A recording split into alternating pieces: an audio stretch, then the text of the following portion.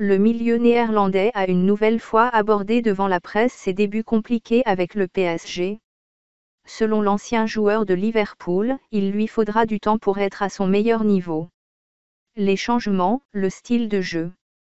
À Liverpool, on était une équipe qui était ensemble pendant cinq ans. On avait notre identité. C'était différent. Le coach ici préfère quand on fait de la rotation. On n'est pas toujours à la même position. À Liverpool, c'était un peu comme ça, mais là, il faut s'habituer, c'est ma première saison. Il y a pas mal de différences, mais ça ne change pas trop. À Liverpool, on a joué des années ensemble. Avant même qu'on gagne la Ligue des Champions, on a beaucoup progressé et, maintenant, au PSG, ça ressemble un peu à ma première saison à Liverpool. On se découvre ensemble. On s'habitue à nos coéquipiers.